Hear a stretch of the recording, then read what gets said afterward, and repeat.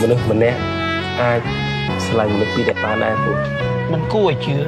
លោកទ័រវះកាត់ដល់ប្រកែម្នាក់មានបញ្ហាស្នេហានោះប្រើខ្សែជីវិតខ្លួនឯងប្រឹងប្រជែងប្រេងវាសនា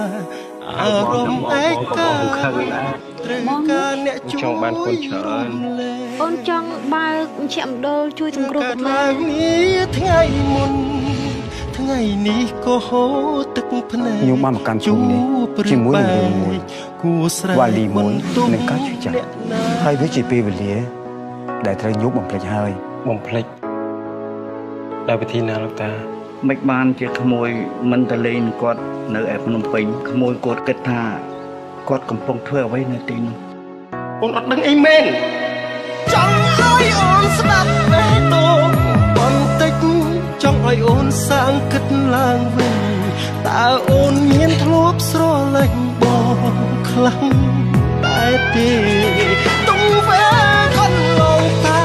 មានដងណាដែលអូនធ្វើ